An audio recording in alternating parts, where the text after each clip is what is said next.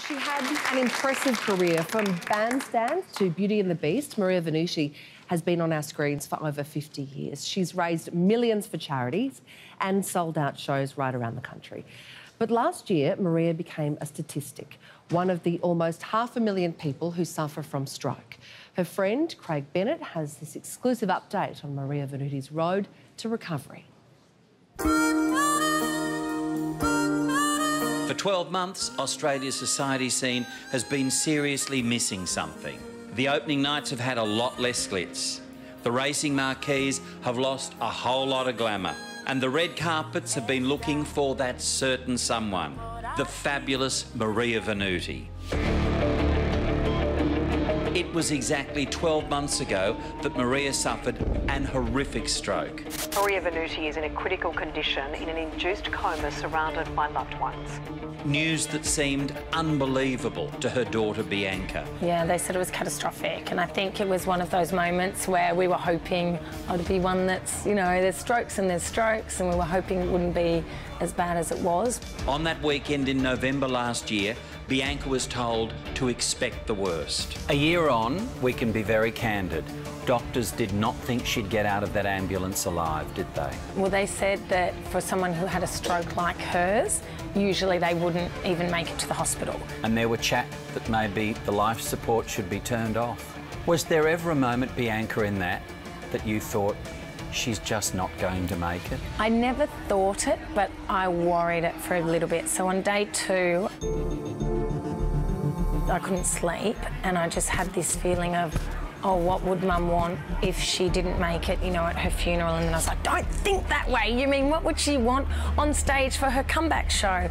And this thought kind of crept through my mind and I, I was really nervous that that thought had come up. And then I kind of had to say to myself, well, no, it's actually very natural. You know, you're going to fear the worst. Doesn't mean you don't hope for the best. It doesn't mean that you don't believe that the best will be possible. But, you know, I suppose I just had to be okay that those thoughts popped up. How did you react when the doctors were quite negative because they'd never seen anything quite like this before? It's hard because they're experts, so they don't know either, so they don't want to promise you anything that is not possible. On the other side, they don't want to scare you. You know, I remember I asked this ICU doctor about what was possible, and when he was like, Well, look, we've never seen a bleed this bad, I just thought, Oh, but it kind of got me excited because I was like thinking, no, of course you haven't seen it. If mum does something, she does it big, and don't you worry, she'll show you. Let her tell the story. And now my life has changed in so many ways. All of her career, Maria has been a constant supporter to many causes, having raised well over $30 million for assorted charities. Now, one year on from that terrible stroke, her friends have gathered to pay tribute to her. I started Maria's career off 55 years ago. But I tell you, um, Maria was so fantastic.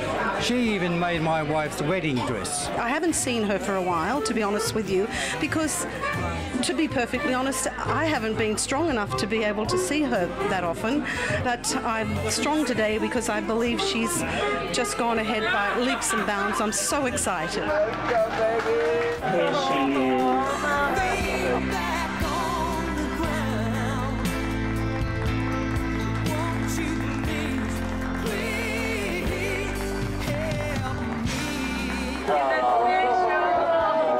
me? There was barely a dry eye in the house as friends were treated to an amazing moment. Maria, with her showbiz partner Trevor Ashley, doing what she's done for the past 55 years. The look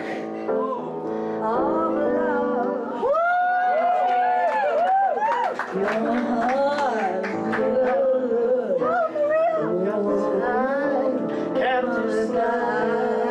thrilling to see her sing. I know it was really special. She's come such a long way, and it, and thinking back to a year ago and being at the hospital with her and that first night, and it was also touch and go, and to have her here all dressed up and singing.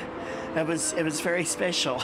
Nothing lights her up more than being in front of an audience and doing what she does, which is sing, and she still has has a great voice.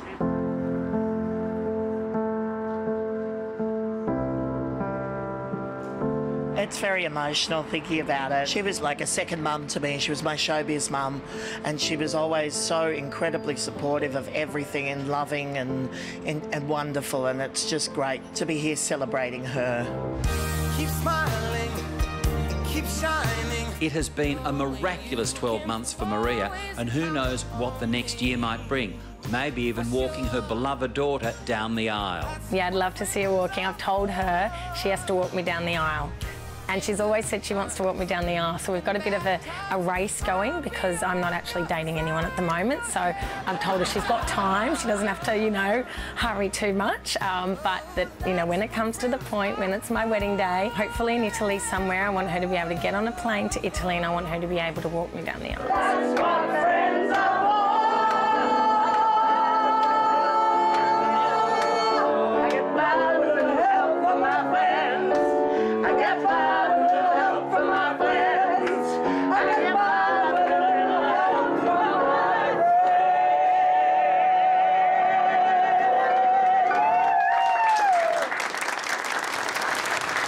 What a woman and what a story. It is. Warms your isn't it? heart it's, for a a- Monday. It's a miracle because is, they yeah. just. And they had a conversation about, you know, whether they should turn the support system off a couple of months later or whenever it was. And now look at her. I She's think- amazing. What's She's so wonderful watching. is everyone coming out because there's so much um, money that needs to be to, to have that house made wheelchair safe. Wheelchair friendly. Yeah. Um, well, we're all thinking of you, Maria. It's so good to see you back up and about.